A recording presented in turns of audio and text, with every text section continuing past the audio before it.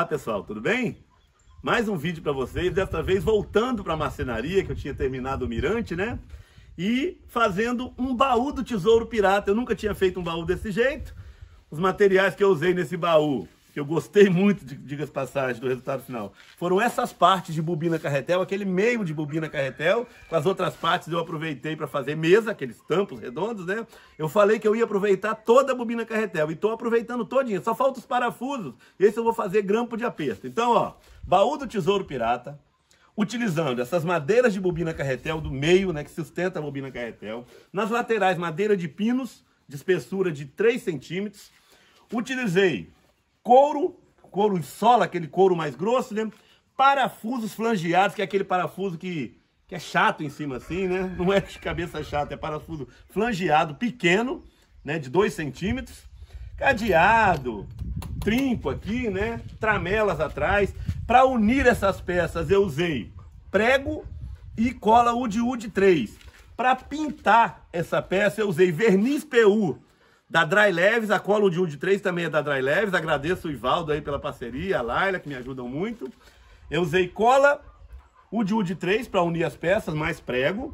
E usei para invernizar verniz PU da Dry Leves, porém envelhecido, com envelhecedor de madeira, não sei se é nogueira, uma madeira escura, tá?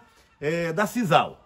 Valeu, pessoal? Veja aí como foi feito, ó. 60, 63 centímetros de, de largura, é, 44 centímetros de altura e 36 aqui de fundo, de, de comprimento, né?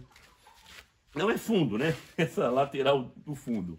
Veja aí como é que foi feito. Se gostarem, dê um joia.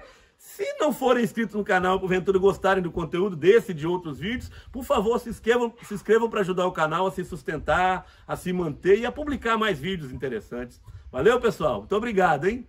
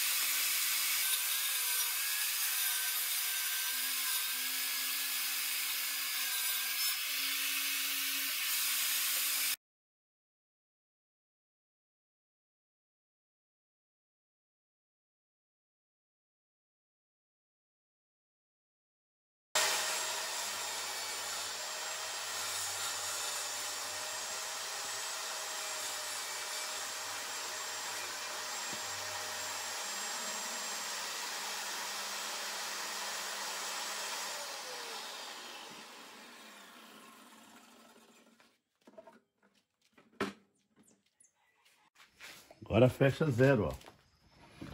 Zero, zero, zero. Hum.